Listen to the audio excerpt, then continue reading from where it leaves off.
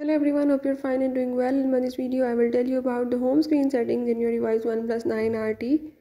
But before starting the video, if you are new to my channel, do subscribe and press the bell icon so you can get new and updated videos.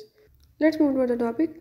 If you want to do the home screen settings or if you want to change the home screen settings in your device OnePlus 9 RT, you can do this by the using the method as I'm showing in my this video.